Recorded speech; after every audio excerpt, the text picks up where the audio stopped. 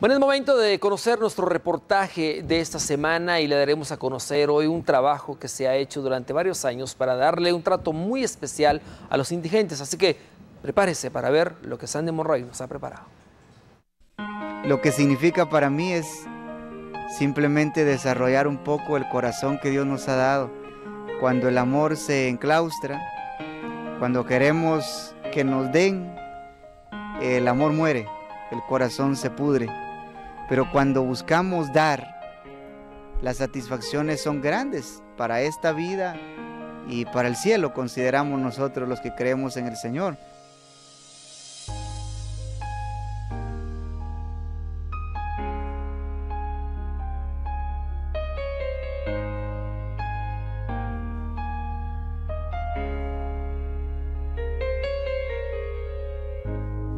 En sus primeros pasos para convertirse en sacerdote, el padre Neri Mijangos se dio cuenta que su misión en la vida no era solo predicar la palabra de Dios, sino también seguir su ejemplo.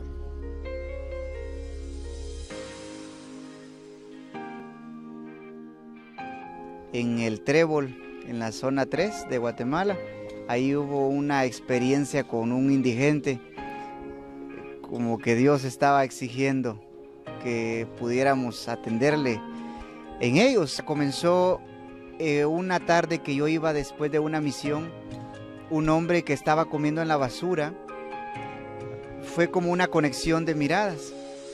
Y en esa conexión de miradas eh, hubo algo extraño, yo no lo entendí, mm, no lo entendí para nada en ese momento pero fue una voz interna, no donde no entra la imaginación, sino una voz interior que me reclamó, estás contento, estás tranquilo en el seminario, pero yo estoy acá comiendo de la basura.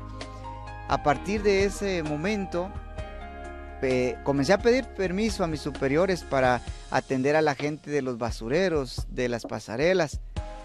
Y por supuesto, la comunidad no es, no, yo estaba ingresando, era nuevo y no me permitieron hacer eso en mis vacaciones a escondida de mis superiores, pues lo hacía.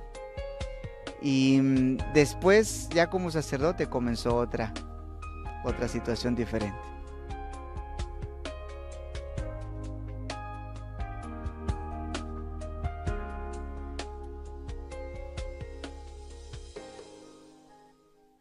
Esa experiencia le dejó el deseo de buscar algo mejor para quienes se encuentran desprotegidos en las calles, quienes pasan hambre, frío y toda inclemencia, por lo que luchó para iniciar su proyecto de brindar abrigo, y en el 2012 se pone en marcha ese sueño.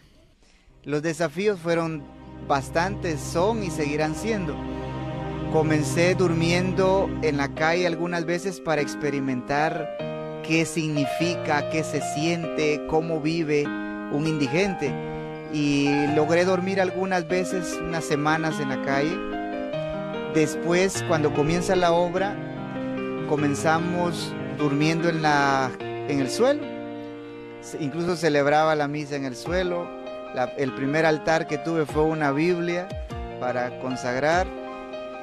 Y comíamos, yo recuerdo el primer joven que me acompañó, eh, una salchicha, comprábamos y esa la partíamos para los dos y un pan a la mitad entre los dos. Poco a poco se vio la nos vimos en la necesidad de alquilar algunas casitas, una, una casa primero, luego la otra y, y se fue desarrollando el proyecto hasta que vienen los primeros abuelos, le llamamos, a ex indigentes.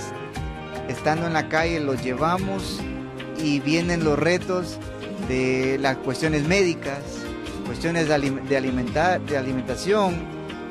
Este lugar comenzó una donación de, un, de una pequeña porción de este terreno y poco a poco fuimos consiguiendo, me fui endeudando en lo personal con algunas personas para ir consiguiendo el terreno. Una buena parte fue donada a, y, otras, ella es una de las que, de las que está con nosotros. Entonces una de las, eh, la mayoría fue donada y muchas otras cosas fueron a base de deudas. Las construcciones cuando venimos acá no existía ninguna, solo había una parte donde había para cerdos. Eso lo remodelamos, lo convertimos en, en habitaciones. Eh, tenemos ahorita, viviendo con nosotros, tenemos 17 varones, perdón, 19 varones y 9 mujeres. También tenemos misioneros que se les dan becas para estudiar en la universidad y ellos son los misioneros que atienden a los abuelos en la mayoría del tiempo. Les toca cambiar pañales y todo. Eh, aparte de eso, pues han muerto 14 personas acá con nosotros. Ahora tiene una nueva meta, seguir recibiendo más personas con necesidad de techo. Por lo tanto, si está en sus manos, puede ayudarlo. Con la necesidad de recaudar eh, dinero, nos hemos dado a la tarea de realizar un concierto el 4 de, de noviembre de 3 a 10 de la noche. Esta, esto es a beneficio de la comunidad. Buscamos recaudar dinero para salir por lo menos de una parte económica que se, que se, se está por pagar.